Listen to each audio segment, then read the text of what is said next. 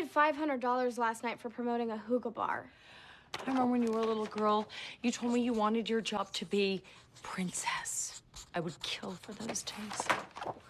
Is that why you're dressed like a hookah? Honey, you're not making sense again. Do you need to lie down? Mom.